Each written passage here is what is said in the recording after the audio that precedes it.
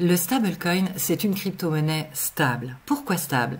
Parce que son prix est ancré à celui du US dollar ou de l'euro ou de l'or, etc.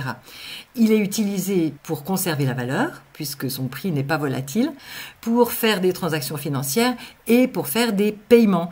Il est de plus en plus accepté par les commerces.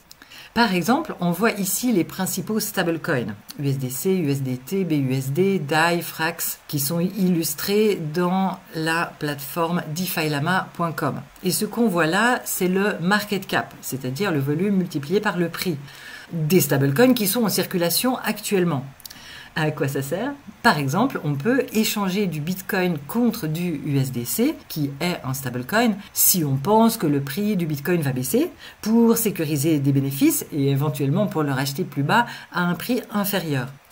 Une astuce intéressante, c'est que dans certains pays, par exemple la France, les transactions entre plusieurs cryptos ne sont pas considérées comme un événement imposable à condition que vous ne soyez pas considéré comme investisseur professionnel.